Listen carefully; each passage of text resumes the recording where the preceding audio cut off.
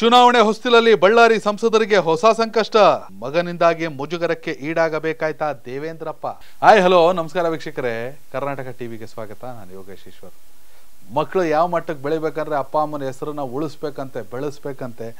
S ಇಲ್ಲಿ ಬಳ್ಳಾರಿ ಸಂಸದ ದೇವೇಂದ್ರಪ್ಪ ಅವರ ಮಗ ಅಂಥದ್ದೊಂದು ವಿಚಾರದಲ್ಲಿ ಸುದ್ದಿಯಾಗಿದ್ದಾರೆ. ಅಂಥದ್ದೊಂದು ಆರೋಪ ಕೇಳಿ ಬಂದಿದೆ. ಆದರೆ ಆರೋಪ ರುಜುವಾತಿನ ಬಗ್ಗೆ ಸ್ಪಷ್ಟ ಮಾಹಿತಿಯನ್ನು ಪೊಲೀಸರು ಅಥವಾ ಸಂಬಂಧಪಟ್ಟವರು ಕೊಡಬೇಕು ಅಥವಾ ನ್ಯಾಯಾಲಯ ಕೊಡಬೇಕು. ಆದರೆ ಕೇಳ ಬಂದಿರೋ ಆರೋಪ ಮಾತ್ರ ಅತಿ ಘನಘೋರವಾದದ್ದು. ಮದುವೆ ಆಗಿರುವಂತಹ ಬಳ್ಳಾರಿ ಸಂಸದ ದೇವೇಂದ್ರಪ್ಪನವರ ಮಗ ಮೈಸೂರಿನಲ್ಲಿ ಮತ್ತೊಂದು ಯುವತಿಗೆ ವಂಚಿಸಿದ್ದಾರೆ. ಮದುವೆ ಆಗೋರೆ ಇನ್ನೊಂದು ಯುವತಿ ಜೊತೆ ಲವ್ ಡವಿ ಲೋಕಸಭಾ ಚುನಾವಣೆಯ ಹೊಸ್ತಿಲಲ್ಲಿ ಬಿಜೆಪಿ ಸಂಸದ ದೇವೇಂದ್ರಪ್ಪ ಅವರ ಕುಟುಂಬದ ಕತೆ ಇದೀಗ ರಾಜ್ಯಾದ್ಯಂತ ಹರಿದಾಡ್ತಾ ಇದೆ.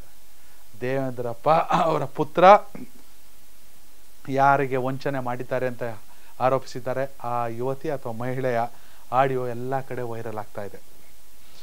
ಬಳ್ಳಾರಿ ಸಂಸದ, ಸಂಸದನ ಪುತ್ರನ ಮೇಲೆ ಪ್ರೇಮ ವಂಚನೆ ಆರೋಪ ಕೇಳಿ ಬಂದಿದೆ.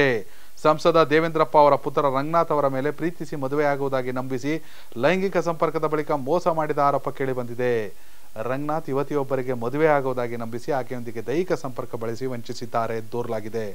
ಈ ಬಗ್ಗೆ ಸ್ವತಃ ಯುವತಿ ದೂರು ದಾಖಲಿಸಿದ್ದಾರೆ. ಮೈಸೂರಿನ ಮಹಾರಾಜ ಕಾಲೇಜಿನಲ್ಲಿ ಉಪನ್ಯಾಸಕನಾಗಿ ಕಾರ್ಯನಿರ್ವಹಿಸುತ್ತಿರುವುದಾಗಿ ರಂಗನಾಥ್ ಹೇಳಿರುವುದಾಗಿ ಬೆಂಗಳೂರು ಮೂಲದ ಯುವತಿ ದೂರಿನಲ್ಲಿ ತಿಳಿಸಿದ್ದಾರೆ. ಯುವತಿಯ ದೂರಿನ ಅನ್ವಯ ಬೆಂಗಳೂರಿನ ಬಸವನಗುಡಿ ಮಹಿಳಾ ಪೊಲೀಸ್ ಠಾಣೆಯಲ್ಲಿ ಎಫ್ಐಆರ್ ದಾಖಲಾಗಿದ್ದು, ಒಂದೂವರೆ ವರ್ಷದ ಹಿಂದೆ ರಂಗನಾಥ್ ಪಾರ್ಟಿಯೊಂದರಲ್ಲಿ ಯುವತಿಯನ್ನು ಪರಿಚಯ ಮಾಡಿಕೊಂಡಿದ್ರಂತೆ. ಬಳಿಕ ಮೈಸೂರಿನ ಹೋಟೆಲ್ನಲ್ಲಿ ಆಕೆಯ ಜೊತೆ ಲೈಂಗಿಕ ಸಂಪರ್ಕ ಬೆಳೆಸಿದ್ದಾರೆ ಎಂದು ಆರೋಪಿಸಲಾಗಿದೆ. ಆದರೆ ಈಗ ಮದುವೆ ಆಗಲು ಹಿಂದೇಟು ಹಾಕ್ತಿದ್ದಾರೆ ಅಂತ. ಪ್ರಕರಣ ದಾಖಲಿಸಿಕೊಂಡಿರುವ ಬಸವನಗುಡಿ ಮಹಿಳಾ ಪೊಲೀಸ್ ಠಾಣೆ ಪೊಲೀಸರು ಇಬ್ಬರಿಗೂ ನೋಟಿಸ್ ನೀಡಿ ವಿಚಾರಣೆಗೆ ಹಾಜರಾಗುವಂತೆ ತಿಳಿಸಿದ್ದಾರೆ. ಯುವತಿಗೆ ಸೂಕ್ತ ದಾಖಲೆಗಳೊಂದಿಗೆ ಬರುವಂತೆ ತಿಳಿಸಿದರೆ ಇತ್ತ ರಂಗನಾಥ್ ಅವರಿಗೂ ವಿಚಾರಣೆಗೆ ಹಾಜರಾಗುವಂತೆ ಸೂಚಿಸಲಾಗಿದೆ. ಹಾಗಾದ್ರೆ ಯುವತಿ ಕೊಟ್ಟಿರೋ ಕಂಪ್ಲೇಂಟ್ ಅಲ್ಲಿ ಏನಿದೆ?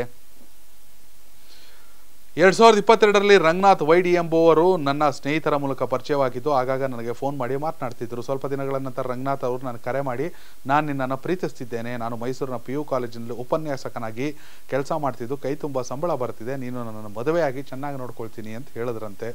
ನಂತರ ರಂಗನಾಥ್ ಎರಡು ಸಾವಿರದ ಇಪ್ಪತ್ತ್ಮೂರರ ಜನವರಿ ಇಪ್ಪತ್ತ್ಮೂರರಂದು ನನಗೆ ಬೆಂಗಳೂರಿನಲ್ಲಿ ಕೆಲಸವಿದೆ. ನಾನು ಬರುತ್ತೇನೆ ಎಂದು ಹೇಳಿ ಎರಡು ಸಾವಿರದ ಇಪ್ಪತ್ತ್ಮೂರು ಜನವರಿ ಇಪ್ಪತ್ನಾಲ್ಕರಂದು ಬೆಂಗಳೂರಿನ ಕೊಡಿಗೆಹಳ್ಳಿಯ ಸ್ವಾತಿ ಹೋಟೆಲ್ಗೆ ಬಂದು ನನ್ನನ್ನು ಹೋಟೆಲ್ಗೆ ಕರೆಸಿಕೊಂಡು ನಂತರ ಅಲ್ಲಿಂದ ನನ್ನನ್ನು ಮೈಸೂರಿಗೆ ಕರೆದುಕೊಂಡು ಹೋಗಿ, ಅಲ್ಲಿ ಲಲಿತ್ ಮಹಲ್ ಪ್ಯಾಲೇಸ್ ಎಂಬ ಹೋಟೆಲ್ನಲ್ಲಿ ಕರೆದುಕೊಂಡು ಹೋಗಿ, ಈಗ ನಿನ್ನನ್ನು ನಮ್ಮ ಮನೆಗೆ ಕರೆದುಕೊಂಡು ಹೋಗಲಾಗುವುದಿಲ್ಲ. ಇವತ್ತು ಇಲ್ಲಿಯೇ ಇದ್ದು ಬೆಳಗ್ಗೆ ನಮ್ಮ ಮನೆಗೆ ಹೋಗೋಣ ಎಂದು ಹೇಳಿ ರಾತ್ರಿ ರಂಗನಾಥ್ ಅವರೊಂದಿಗೆ ಇರುವಾಗ ಮದ್ಯ ಸೇವನೆ ಮಾಡಿ ನಾನು ನಿನ್ನನ್ನು ಮದುವೆ ಆಗ್ತೇನೆ ಎಂದು ಹೇಳಿ ನಂಬಿಸಿ ನನ್ನೊಂದಿಗೆ ದೈಹಿಕ ಸಂಪರ್ಕ ಮಾಡಿದ್ದಾರೆ. ಮರುದಿನ ನನ್ನನ್ನು ಬೆಂಗಳೂರಿಗೆ ಕಳಿಸಿಕೊಟ್ಟಿರುತ್ತಾನೆ. ಅಂತ ಆರೋಪ. ಎಲೆಕ್ಷನ್ ಟೈಮಲ್ಲಿ ಹಿಂಗೆಲ್ಲ ಬರ್ತಾ ಇರ್ತವೆ. ಬಟ್ ಅನ್ಯಾಯ ಯಾರಿಗೂ ಆಗಬಾರ್ದು. ತಪ್ಪಾಗಿದ್ದರೆ ಶಿಕ್ಷೆ ಆಗಬೇಕು. ನಂಬಿಸಿ ವಂಚನೆಯನ್ನ ಮಾಡಿದ್ದರೆ. ಆದರೆ ಬಿ ಜೆ ಪಿ ಸಂಸದ ದೇವೇಂದ್ರಪ್ಪ ಅವರಿಗೆ ಎಲೆಕ್ಷನ್ ಟೈಮಲ್ಲಿ ಇಂಥ ಕಂಟಕಗಳು ಬಂದ್ಬಿಟ್ರೆ ಪಾಪ ರಾಜಕೀಯ ಮಾಡೋದು ಕಷ್ಟ. ಎಸ್ ಯಾರಪ್ಪದ ಬಗ್ಗೆ ನಿಮ್ಮ ಅಭಿಪ್ರಾಯನ ಕಾಮೆಂಟ್ ಮಾಡಿ. ಧನ್ಯವಾದಗಳು.